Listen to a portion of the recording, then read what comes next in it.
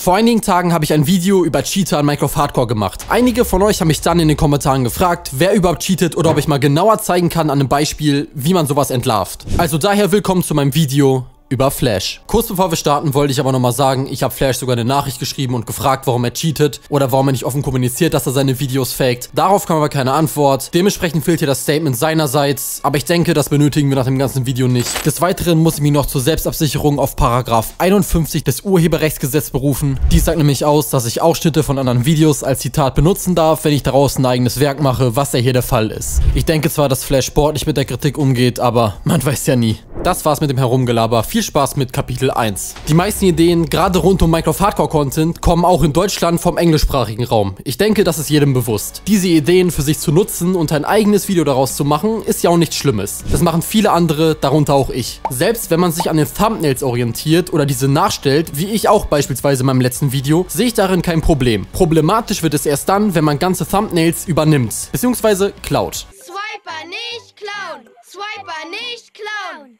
Ach, Manno. Hier nur ein paar Beispiele von Flash. Das ist Flash Thumbnail von dem Video Ich baue den größten Beacon in Minecraft Hardcore. Hier wiederum das Thumbnail von Kolani. Flash Thumbnail zu Ich transformiere ein Biom in Hardcore. Hier das Original Thumbnail von Scavio. Hier Flashs Ich baue einen Planeten in Minecraft Hardcore Thumbnail. Hier das Original von Beppo. Nicht nur ähneln sich die Gebäude aus den Thumbnails nicht zu dem, was Flash da in Minecraft baut. Der eigentliche Klau von den Thumbnails wird manchmal sogar noch vertuscht. Denn in den Original Thumbnails steht manchmal ein englisches Wort oder irgendeine Zahl und die wird dann rausgeschnitten und ein kleiner Teil Eigenarbeit hinzugefügt. Ich weiß jetzt nicht, ob ich das als Gewinn oder als Klau verbuchen soll, aber ja, es ist so oder so keine coole Aktion. Und wer jetzt denkt, es bleibt nur bei einer schlechten Verpackung, wir schauen uns jetzt den Inhalt an. Das erste Projekt, wo Flash erst richtig in der Minecraft-Szene aufgetaucht ist, ignorieren wir mal seine Fortnite-Videos, ist ein 100-Tage-Hardcore-Projekt. Das ist übrigens auch dieselbe Welt, in der jedes Bauprojekt spielt und über 1000 Tage angeblich verbracht bzw. überlebt hat. Wäre jetzt nur extrem schade, wenn in dieser Welt schon die ersten 100 Tage gecheatet bzw. fake wären. Woran erkennt man das? Nun ja, es dreht sich alles um diesen einen Block hier. Amethystknospen. Diese kann man ohne Silk Touch nämlich nicht abbauen. Und als Flash-Fanboy Nummer 1 habe ich mir jede Sekunde seines Videos angeguckt. Vor allem die Sekunden, wo er das Nether-Portal designt. Flash ist nämlich nur wenige Tage in der Map und hat deswegen nur eine Diamantspitzhacke. Man sieht nämlich ein paar Sekunden vorher, wenn er Stein abbaut, dass er Bruchstein gedroppt bekommt. Das bedeutet, die Spitzhacke hat keinen Silk Touch und eine andere Spitzhacke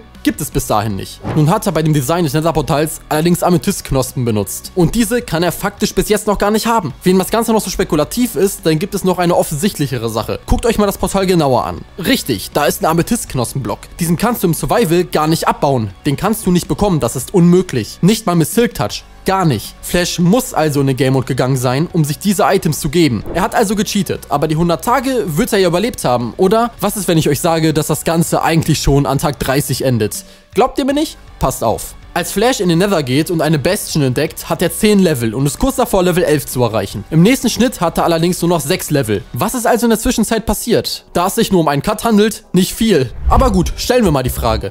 Ist Flash A als einziger Spieler in Minecraft in der Lage, Minuslevel zu sammeln? Oder B, ist er gestorben? Ihr wollt wirklich den Telefonjoker? Na gut, mal gucken, wen wir so erreichen. Leute, ich weiß, es kommt jetzt sehr unerwartet, äh, aber er ist einfach gestorben. Ich glaube, das ist schon klar. Testen wir das Ganze mal. Wir gehen in eine Minecraft-Welt und töten uns mit derselben Anzahl an Level und sammeln diese danach wieder auf. Und wir sehen, wir bekommen ungefähr dieselbe Anzahl wie Flash in dem Video. Das Ganze wird noch daher begünstigt, dass er nach dem Cut, wo er sich schon wiederbelebt hat, Probleme mit den Brutes in der Bastion hat. An denen wird er auch gestorben sein. Zudem ist sein Inventar komischerweise komplett unsortiert. Wir hätten jetzt also geklärt, dass die Welt von Flash seit Anfang an fake ist. Aber wie steht's um die neueren Videos? Schauen wir uns zuerst mal das Ich baue den größten Beacon im Minecraft Hardcore Video an. Der gute Flash hat nämlich seinen Minecraft-Chat deaktiviert, damit man nicht sehen kann, wann er in den Game-Mode geht und so weiter. Aber auch, damit man Achievements nicht sieht. Blöd nur, wenn die auch oben rechts in der Ecke angezeigt werden. Und noch blöder, wenn man vergisst, diese rauszuschneiden. Flash bekommt nämlich in dem Video, in der er in einer Welt ist, wo er schon angeblich 1000 Tage Hardcore überlebt hat, das erste Mal Diamanten. Ja, er bekommt das erste Mal das Achievement, dass er Diamanten gefunden hat. Wodurch er dieses Achievement jetzt bekommen hat, ist natürlich die Frage, weil im ersten Part hatte er ja auch Diamanten im Inventar. Dies müsste bedeuten, dass er irgendwie an der Welt herumgefuscht hat. Sei es die Statistiken zurückgesetzt, sich wiederbelebt haben und so weiter. Was wohl davon zutreffen kann. Nun gut, gehen wir aber mal weiter zum nächsten Video. Ich hoffe, ihr habt alle eure Taschenrechner und Mathebücher dabei. Jetzt müssen wir nämlich ein bisschen nachrechnen. Flash möchte nämlich das End umdesignen und dafür alle Türme abbauen. Die Endtürme haben insgesamt 40.499 Obsidianblöcke. Flash baut hier in der ersten Szene einen Obsidian-Turm ab. Bei diesem handelt es sich um einen 5-Blöcke-Radius-Pillar. Dieser hat zwischen 5300 und 5700 Blöcke, je nach Höhe. Diesen baut Flash aber nicht ganz ab, sondern nur bis zum Endstone. Das sind je nach Ends zwischen 1500 und 2000 Blöcke. Umgerechnet also 23 bis 32 Stacks. Flash hat nach der Kamerafahrt allerdings nur 13,5 Stacks im Inventar. Also die Hälfte, wenn nicht sogar mehr zu wenig. Kann ja aber sein, dass er den Rest einfach nicht eingesammelt hat. Was bei einem Obsidian-Turm zwar sehr unwahrscheinlich ist, aber kann ja sein. Wir machen jetzt weiter. Wir sehen nämlich im nächsten Schnitt, dass er den Turm rechts neben dem ersten Turm abgebaut hat. Aus einer Szene davor erkennen wir, dass es sich um den kleinsten der Türme handelt, welcher insgesamt 1600 Blöcke und bis zum Endstone ca. 600 bis 900 Blöcke aufweist. Wäre also alles richtig gelaufen, hätte Flash nach diesen beiden Türmen zwischen 2100 und 2900 Obsidian-Blöcken bzw. 32 bis 45 Stacks. Flash zeigt uns hier aber eine volle Doppelkiste, die komplett gefüllt ist, also 54 Stacks, was mathematisch nicht möglich ist. Hier kommen also gleich mehrere Fragen auf. Erstens, wie kann Flash, also wenn man ihm Glauben schenkt, beim ersten Pillar nur 13,5 Stacks Obsidian herausbekommen, der viel kleinere, daneben stehende Turm aber über 40 Stacks droppt. Fun Fact, um die ganze Kiste zu füllen, müsste man vier von den größten Türmen abbauen. Man erkennt aber auch an seinem Inventar, dass er nur diese beiden Türme abgebaut hat. Denn er hat zwischen dem ersten und zwischen dem zweiten Turm nur eine Rocket und kein Essen verloren. Die Rocket wird er benutzt haben, um auf den zweiten Pillar hochzukommen, weil er sonst nicht an die Blöcke ganz oben kommt. Lustigerweise hat seine Spitzhacke nach diesen angeblichen 54 Stacks Obsidian, das sind 3456 Blöcke, kein bisschen Erhaltbarkeit verloren. Dem Ganzen setzt Flash aber dann noch die Krone, beziehungsweise eher die Clownsnase auf. Denn nach einem Schnitt sind alle Türme weg. Aber er hat auf seiner Spitzhacke noch die komplett gleiche Haltbarkeit und nur zwei Raketen verbraucht. Okay. Am Ende sagt er noch, dass er über dreieinhalb Kisten voll mit Obsidian hat, zeigt aber, dass es nur drei sind und zwölf Stacks, aber nun gut, ich will jetzt nicht auf Kleinigkeiten rumreiten. Interessant wird es aber auch bei 2 Minuten 19. Dort bekommt er beim Betreten des Ends nämlich wieder ein neues Achievement, obwohl er schon längst dort war. Übrigens hat er kurz darauf wieder einen Stack Rockets im Inventar. Keine Ahnung, wo die herkommen sollen. Gehen wir aber mal weiter zum nächsten Video. Ich habe einen Tempel im Minecraft Hardcore äh, verwandelt? Ist der Google Translator an dem Titel schuld? Naja, jedenfalls will Flash hier einen Tempel bauen und dazu diese ganze Fläche hier Terraform. Hierbei hat seine Schaufel noch kaum Haltbarkeit. Aber seine Axt ist fast noch voll. Ebenfalls hat er noch 48 Fleisch im Inventar. Einen Cut später hat er eine komplette Ebene geterraformt. Seine Axt ist weg und seine Schaufel sieht man auch nicht mehr im Inventar. Weniger Essen hat er allerdings nicht. Und der hat auch für die ganze Fläche nur eine Rocket verbraucht. Aber seine Schaufel und seine Axt ist weg. Naja, eigentlich nicht weg. Er hat sie nur im Inventar versteckt, damit man nicht sieht, dass sie noch dieselbe Haltbarkeit haben. Aber nun gut, wenn man das Inventar dann noch während der Aufnahme öffnet, selber schuld. Danach hat Flash eine neue Aufgabe, nämlich super viel Stein sammeln. Dazu geht er mit einem Full Beacon mit Haste Stein abbauen und freut sich, wie schnell das Ganze doch geht. Ein kurzer Cut später und er steht mitten in einem ganzen Höhlensystem und sagt, dass das ja keine Höhle sei und alles selbst abgebaut hat. Er sagt noch, ob ihr es glaubt oder nicht. Und nein, ganz ehrlich, Flash, ich glaub's dir nicht. Ehrlich gesagt, glaubt dir es keiner. Und hier sieht man wieder, wie unglaublich wenig Mühe er sich dabei gibt, das zu faken. Denn man sollte meinen, bei den abertausenden Blöcken, die er hier abgebaut hat, sollte seine Spitzhacke auch nur eine Dropability verloren haben. Nein, es ist immer noch dieselbe und er hat genau dieselbe Anzahl an Essen und auch noch Raketen. Es ist unglaublich. Flash vergrößert dann die Fläche. Zumindest kündigt er es an und die Fläche ist danach deutlich größer. Aber er hat schon wieder dieselbe Anzahl an Dirt Inventar, wie vorher vom Terraform. Ich weiß nicht, womit er terraformt, aber anscheinend nicht mit Dirt, obwohl es da überall ist. Ich meine, wenn man schon unbedingt seine Videos faken und cheaten muss. Weil man es nicht geschissen kriegt, wenigstens 30 Tage in einer Welt zu überleben oder irgendwas abseits eines Starthauses in Minecraft zu bauen, ohne Game Mode zu berühren, sollte man vielleicht überlegen, ob Minecraft Hardcore YouTuber das richtige Hobby ist oder Beruf. Im Essen sparen ist auf jeden Fall sehr gut. Er baut nämlich die komplette Seite einer Pyramide und hat kein einziges Essen verbraucht. Geschweige denn mehr als eine halbe Hungerkeule verloren. Naja, man fleht ja keine Hungerkeulen, wenn man im Game Mode ist. Doch fassen wir das mal zusammen. Wie viel hat der gute Flash denn in diesem ganzen Großprojekt, was Stunden an Arbeit gekostet hat, verbraucht? Ja, 10 Fleisch.